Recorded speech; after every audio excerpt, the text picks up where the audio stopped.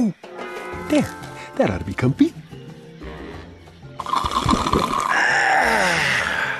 Nothing wrong with this, Morton. Nothing wrong with this. Just you and me in the speck, shooting the breeze. We're a club. We're a group. Hmm? We can take a vote on the issues. Hmm. We can be a secret society that controls the balance of power in the world. Horton. And no one else can join unless they wear funny hats. Listen, Horton. The chair recognizes Brother Morton.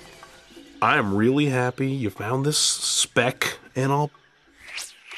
But you might want to think about keeping it to yourself. Hmm? What? Why? Well, you're talking to a clover. That doesn't look good. You know what doesn't look good? You talking about the speck like the speck isn't even there. The speck never said anything bad about you.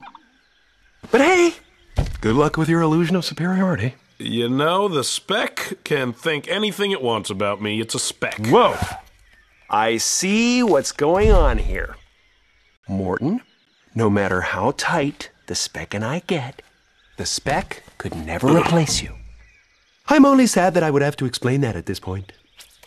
Well, that's awesome, Horton. That really helps.